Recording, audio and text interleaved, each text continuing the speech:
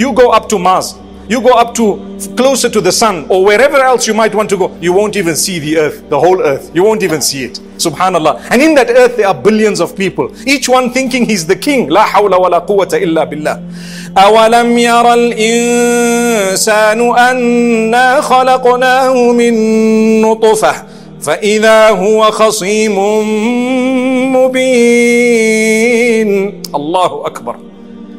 does man not see that we created him from a droplet of semen? Now, suddenly, he comes up as an argumentative human being. Who does he think he is? Allah says.